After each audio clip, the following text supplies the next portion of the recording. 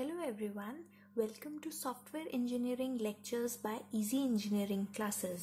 Software engineering के lectures में आपका स्वागत है और आज हम पढ़ेंगे सॉफ्टवेयर रिक्वायरमेंट एलिसिटेशन जैसे कि हमने प्रीवियस लेक्चर में देखा था कि सॉफ्टवेयर रिक्वायरमेंट इंजीनियरिंग का फ़र्स्ट स्टेप होता है सॉफ्टवेयर रिक्वायरमेंट एलिसिटेशन और इस स्टेप को हम रिक्वायरमेंट गैदरिंग भी बोलते हैं।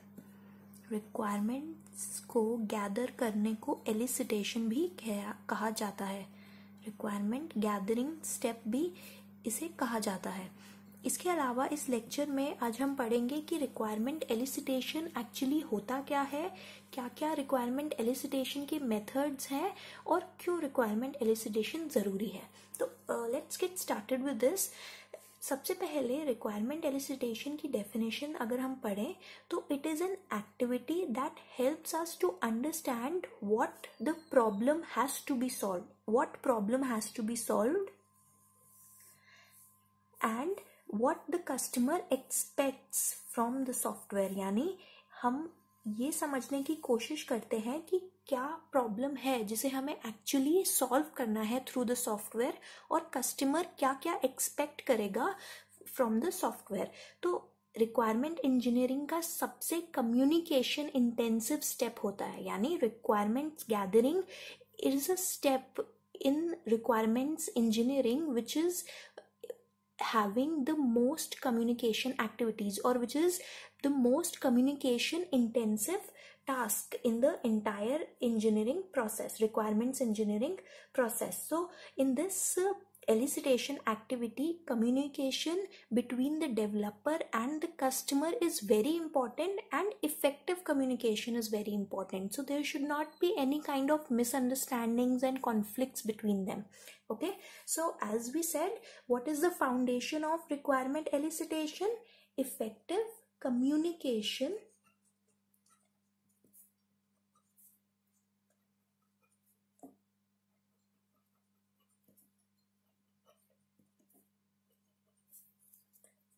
Between the customer and the developer. All right so क्योंकि रिक्वायरमेंट्स को गैदर करना बिल्कुल भी आसान नहीं होता क्योंकि रिक्वायरमेंट्स कस्टमर के माइंड में हो सकती हैं, लेकिन कुछ ऐसी रिक्वायरमेंट्स भी होती हैं जो इम्प्लिसिट होती हैं नेचर में। यानी कई बार ऐसा होता है कि कस्टमर ये सोचता है कि इन रिक्वायरमेंट्स को स्पेसिफाई करना तो ज़रूरी ही नहीं है। दे आर ऑलरेडी अंडरस्टूड और they are implicit in nature और कुछ रिक्वायरमेंट्स एक्सप्लिसिटली स्टेटेड होती हैं। यानी कस्टमर एक्सप्लिसिटली या एक्चुअली बताता है डेवलपर को कि ये ये रिक्वायरमेंट्स मुझे चाहिए। तो रिक्वायरमेंट एलिसिटेशन एक uh, प्रोसेस नहीं है. There are many hurdles in requirement elicitation और इसका जो जनरल मेथड फॉलो किया जाता है वो बस यही है कि डेवलपर या जो भी डेवलपमेंट टीम है वो कस्टमर से क्वेश्चंस पूछेगी कस्टमर आंसर देगा और फिर क्रॉस क्वेश्चनिंग चलती रहेगी. जो जो क्वेश्चंस या जो जो डाउट्स हैं डेवलपर के माइंड में और जो जो कस्टमर एक्चुअली चाहता है. और राइट तो मेथड इसका हम क्या लिखेंगे? द डेवलपर आस्क क्वेश्चन और the developer questions the customer the customer then responds with an answer और इस रिस्पॉन्स के बेसिस पे फर्दर क्रॉस क्वेश्चनिंग होती है? क्रॉस क्वेश्चनिंग यानी और क्वेश्चंस निकल के आते हैं या अगर एक सेट फॉर्मेट है क्वेश्चंस को एक सेट फॉर्मेट है क्वेश्चंस को पूछने का तो जो जो क्वेश्चंस प्रिपेयर करे गए हैं वही पूछे जाते हैं और कस्टमर सिर्फ़ उन्हें आंसर करता है। या फिर अगर एक फिक्स या एक स्ट्रिक्ट रिगरस फॉर्मेट नहीं है तो रैंडम क्वेश्चंस जो कि बातों बातों में निकल आते हैं वो भी पूछे जा सकते हैं। सो so, ये एक फॉर्मल या इनफॉर्मल मेथड है कम्युनिकेशन प्रोसीजर है जो रिक्वायरमेंट एलिसिटेशन में फॉलो किया जाता है। अब जैसे मैंने बताया कि एलिसिटेशन एक्टिविटी या रिक्वायरमेंट्स को गैदर करना is not at all easy so what are the basic hurdles in requirement elicitation major hurdles in requirement elicitation are we can say misunderstandings can happen. We'll study in a while that what are the reasons for these misunderstandings or conflicts? Misunderstandings or conflicts? Or communication gap can arise.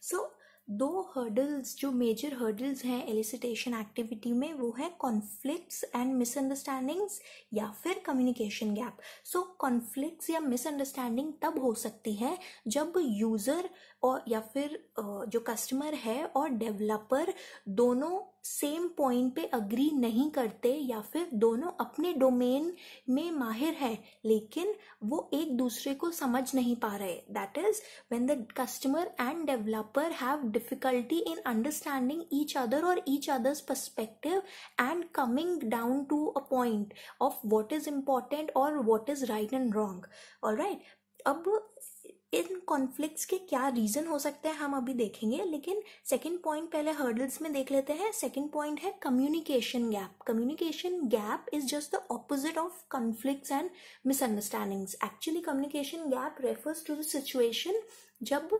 Clear एक communication नहीं हो पाती customer और developer के बीच। So there are some unanswered question and there is a communication gap या फिर कुछ communication ऐसी होती है जिसने, जिसमें कस्टमर ने कुछ बताया और डेवलपर ने उसे किसी और तरीके से समझा। कस्टमर कुछ और कहने चाहते थे, लेकिन डेवलपर ने या डेवलपमेंट टीम ने उसे किसी और तरीके से समझा। तो इस केस में कम्युनिकेशन गैप हम कहते हैं, आ जाता है और और कॉन्फ्लिक्ट आ सकते हैं जब दोनों जो डेवलपमेंट टीम है या फिर जो रिक्वायरमेंट्स इंजीनियर है और जो कस्टमर है एक पॉइंट पे अग्री ना करें। ना let's come to the reasons for conflict between the concern people ना the reasons can be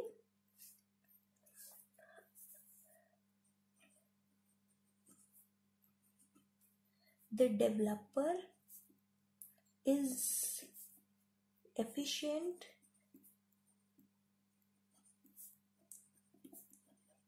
in the knowledge of his own development domain.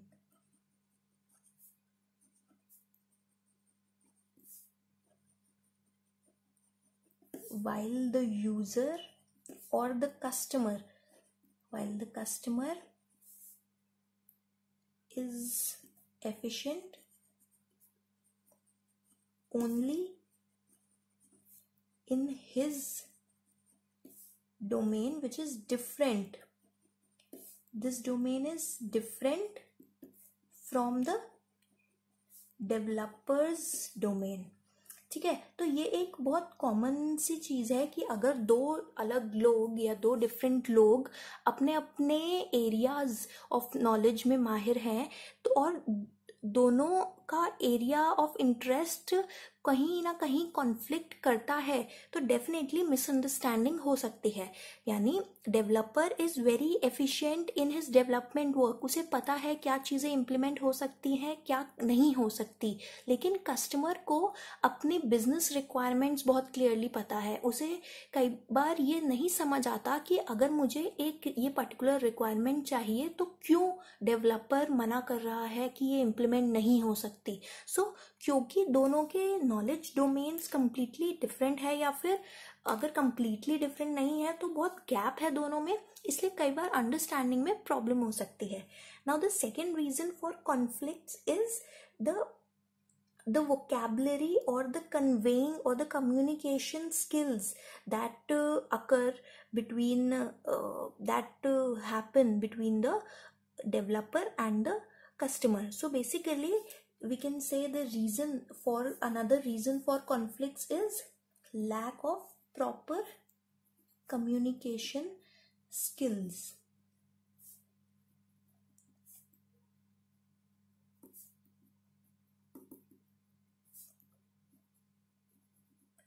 कई बार ऐसा हो सकता है कि डेवलपर अपने टेक्निकल टर्म्स में बात कर रहे हैं और वो चीज़ें कस्टमर को नहीं समझ आ रही। तो इस केस में हम कहते हैं कि कम्युनिकेशन स्किल्स दोनों की डिफरेंट है या फिर एक प्रॉपर तरीके से वो कम्युनिकेट नहीं कर पा रहे।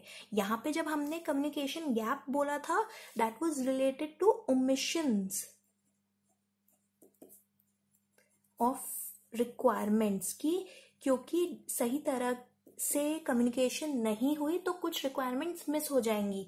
लेकिन यहाँ पे बोथ हैव कम्युनिकेशन स्किल्स सब अच्छे से कम्युनिकेट कर रहे हैं दोनों अपनी साइड से, लेकिन दोनों अपने लैंग्वेज में कम्युनिकेट कर रहे हैं। यानी डेवलपर टेक्निकल टर्म्स अगर यूज़ करेगा तो ज़रूरी नहीं है एक ऐसे कस्टमर को समझ आए जिसे सॉफ्टवेयर की नॉलेज नहीं है इतनी, या सॉफ्टवेयर डोमेन या टेक्निकल टर्म्स की इतनी नॉलेज नहीं है। और right now let's come to requirement elicitation methods requirement elicitation methods basically दो मेन कैटेगरीज के होते हैं। जो हम आज के इस लेक्चर में पढ़ेंगे, इसके अलावा कुछ मेथड्स हम आगे भी फॉलो करेंगे।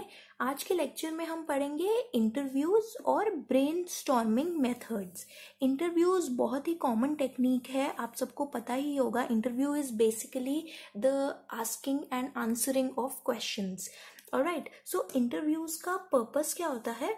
इंटरव्यूज़ का मेजर पर्पज़ यही है टू अंडरस्टैंड ईच अदर चाहे वो किसी भी तरह का इंटरव्यू हो understanding each other is very important और इन दिस केस सॉफ्टवेयर की क्या सॉफ्टवेयर से क्या एक्सपेक्टेशन है कस्टमर को, वो अंडरस्टैंड करना बहुत इंपॉर्टेंट है और कस्टमर के लिए इंपॉर्टेंट है ये जानना कि क्या जो रिक्वायरमेंट्स बता रहा है, वो पॉसिबल है इम्प्लीमेंट करना या नहीं।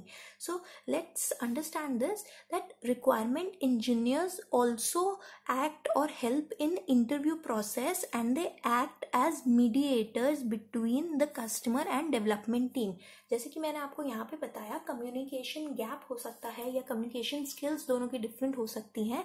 इसलिए हम रिक्वायरमेंट इंजीनियर्स को एज मीडिएटर्स यूज़ करते हैं ताकि वो दोनों पार्टीज़ के बीच में एक अच्छी इफ़ेक्टिव कम्युनिकेशन करवा सके। तो इंटरव्यूज़ कंडक्ट करने की करेक्ट अप्रोच क्या है? Correct approach is that both the parties should be open minded open mindedness होनी चाहिए, यानी दोनों पार्टीज़ को ये क्लियरली स्पेसिफाई कर दे मतलब ये क्लियरली पहले ही समझ जाना चाहिए कि जो वो सोच के जा रहे हैं सॉफ्टवेयर के रिस्पेक्ट में हो सकता है कुछ चीज़ें पॉसिबल हो, कुछ चीज़ें पॉसिबल ना हो, कुछ चीज़ें दूसरी पार्टी को एक्सेप्टेबल हो और कुछ चीज़ें नहीं भी हो। So both the developer and the customer should have an open minded approach they should be cooperative with each other. they should be uh, you know patient enough to listen to each other apart from this they should be understanding of uh, the differences that they possess जैसे मैंने differences की पहले बात करी and uh, you know they should be flexible enough to accommodate what is possible from the other party and what is not ठीक है? तो ये एक करेक्ट अप्रोच है इंटरव्यूज़ में. ओपन माइंडेडनेस बहुत ज़रूरी है. कोऑपरेटिव नेचर अंडरस्टैंडिंग और flexibility is also very important now coming to different types of interviews दो डिफरेंट कैटेगरीज होती हैं मेजरली इंटरव्यूज़ की. सबसे पहली कैटेगरी है स्ट्रक्चर्ड और दूसरी कैटेगरी है open ended so open ended and structured open ended में वो इंटरव्यूज़ या फिर उन तरह के इंटरव्यूज़ को हम काउंट करते हैं जिसमें कोई प्रीसेट एजेंडा नहीं होता. There is no preset agenda मतलब डेफिनेटली एक पर्पस है हमारे पास लेकिन कम्युनिकेशन या इंटरव्यू हमें क्यों कंडक्ट करना है, लेकिन कोई pre defined list of questions नहीं होती. जैसे भी फ्लो ऑफ़ क्वेश्चन होगा there is no pre defined list of question prepared so जैसे कि मैं बोल रही थी, जैसे भी फ्लो ऑफ़ क्वेश्चन होगा, उसी के साथ इंटरव्यू को कंडक्ट किया जाता है। ठीक है? इस केस में स्ट्रक्चर्ड अप्रोच में there is a preset agenda set agenda और क्योंकि एक पर्टिकुलर एजेंडा है क्वेश्चंस में also be prepared before conducting the interview या फिर अगर फॉर्मली सारे क्वेश्चंस नहीं भी प्रिपेयर किए जाते हैं तो हमें पता होता है कि हमें इसी तरह के क्वेश्चंस पे रिस्ट्रिक्टेड रहना है, इससे आगे नहीं बढ़ना। और right so type of interviews में हमने दो तरीके से देखा, लेकिन दो तरीके की इंटरव्यूज़ देखे, लेकिन चाहे कोई भी तरीके का इंटरव्यू हो, हमें ये ध्यान रखना है कि क्वेश्चंस हमारे शॉर्ट होने चाहिए सिंपल होने चाहिए और इनफैक्ट क्लियर भी होने चाहिए।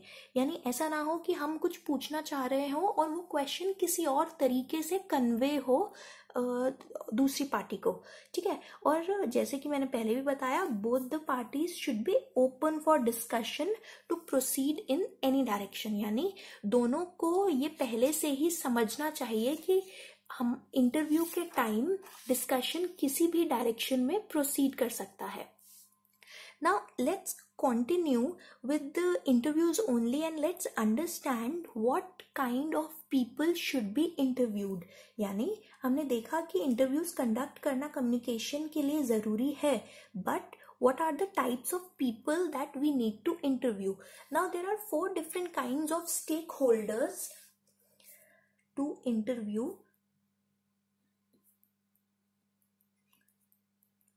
Four different kinds of stakeholders that we need to interview. First is entry level personnel.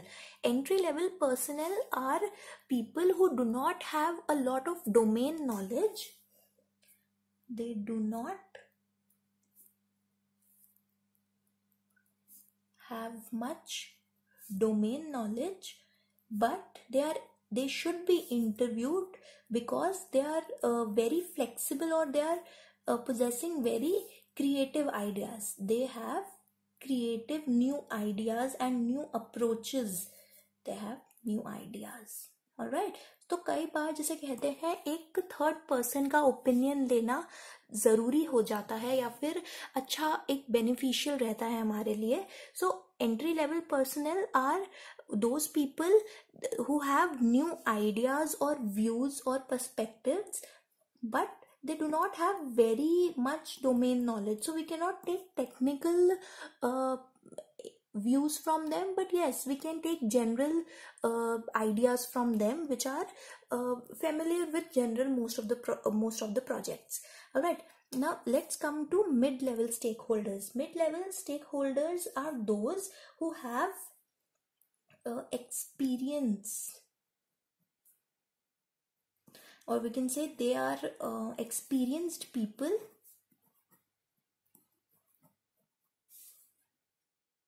With good domain knowledge.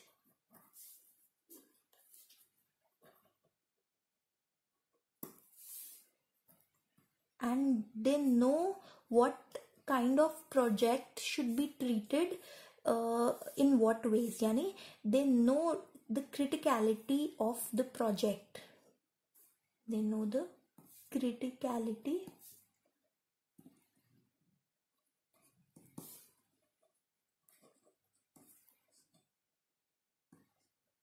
Of the project. So these people since they possess domain knowledge they know uh, what will be right for the product product or what would be right for the project what uh, risks can be encountered and how should we handle them or uh, what schedule and cost should be uh, estimated for this project and so on. So these people are very important and they generally the best examples of these people are project managers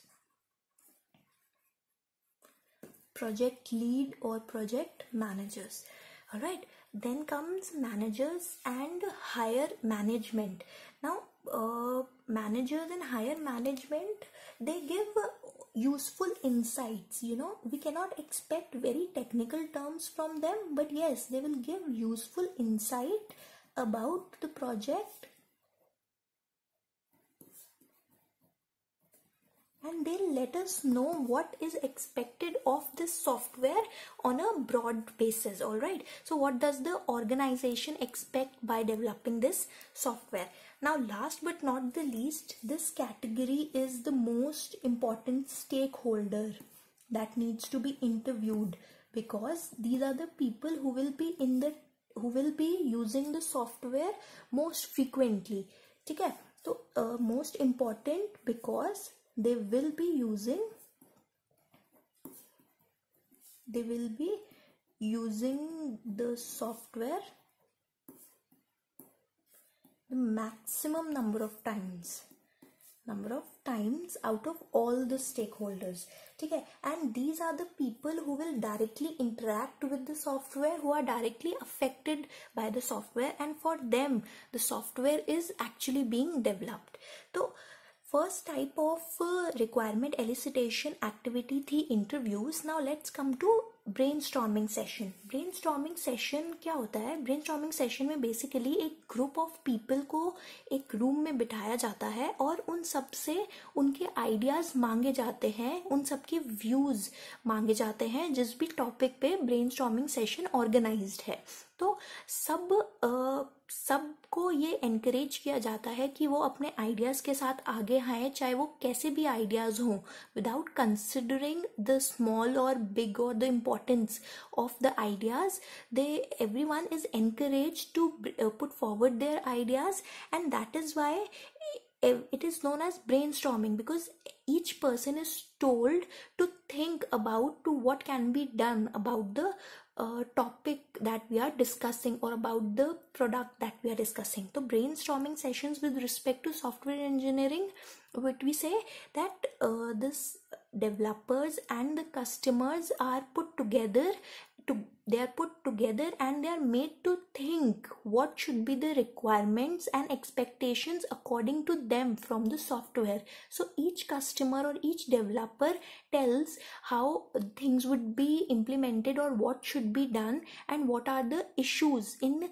uh, in the idea of another person. So there is no uh, you know critical judgment but there are only positive ideas and everyone's idea is respected alright so brainstorming में it is a group discussion technique ये याद रखना बहुत ज़रूरी है group discussion technique होती है it promotes creative thinking and new ideas and it is a platform to express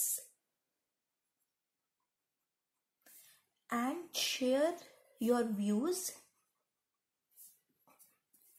share your views your expectations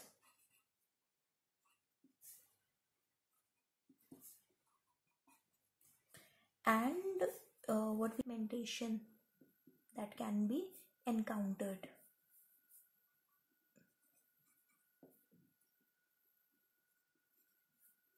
so so, इसमें customer as well as developer दोनों पार्ट लेते हैं कस्टमर बताते हैं कि क्या एक्सपेक्ट कर रहे हैं वो इस सॉफ्टवेयर से डेवलपर ये बताते हैं कि क्या क्या इम्प्लीमेंटेशन वाइज फिजिबल है क्या क्या नहीं है।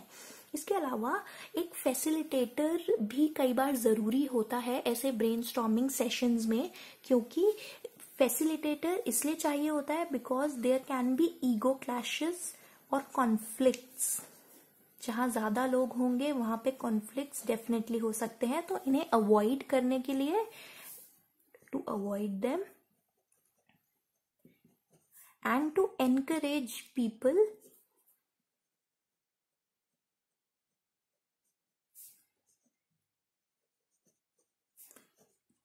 to participate as much as possible because some people may be hesitant to participate all right so uh, to participate as much as possible so brain storming session में हमें work uh, product क्या मिलता है brain storming session में एक document prepare किया जाता है एट द एंड जिसमें सारी रिक्वायरमेंट्स लिस्टेड डाउन होती हैं जो भी स्पेसिफाइड है इस डिस्कशन में जो भी इस डिस्कशन के बाद बाहर आई हैं और इन रिक्वायरमेंट्स में से कॉन्फ्लिक्ट्स हटा के और अनएम्बिगुअस uh, रिक्वायरमेंट्स को हटा के या फिर इन फीजिबल रिक्वायरमेंट्स को हटा के as requirement elicitation work product आगे प्रोसीड किया जाता है। So basically all ideas are documented to be visible to each participant initially document को प्रिपेयर करने से पहले ऐसा भी कर सकते हैं कि जो भी प्रोजेक्टर है या वाइट बोर्ड अवेलेबल है वहाँ पे वो उस वाइट बोर्ड या प्रोजेक्टर पे सारे रिक्वायरमेंट या सारे आइडियाज़ को मेंशन कर दिया जाए so that each idea is visible to every participant of the discussion and each participant can give his or her views on that requirement on that idea and then a detailed report is created that contains each idea in simple language. So there is no technical terms that are used in this requirement elicitation activity. And this detailed report is prepared and later it is reviewed by the facilitator. Reviewed to remove any kind of inconsistencies or ambiguity uh, or so on. So at the end the work product that comes out it is a document which list the requirements and their priority तो क्या priority decide हुई है discussion के बाद? हर requirement की वो भी list down होते हैं। तो आज के लेक्चर में हमने दो सॉफ्टवेयर रिक्वायरमेंट एलिसिटेशन टेक्निक्स के बारे में पढ़ा। आगे के लेक्चर्स में हम ये दो टेक्निक्स और कवर करेंगे। सो से stay tuned to easy engineering classes for more lectures on software engineering please subscribe to our channel to get the latest updates on computer science related subjects thank you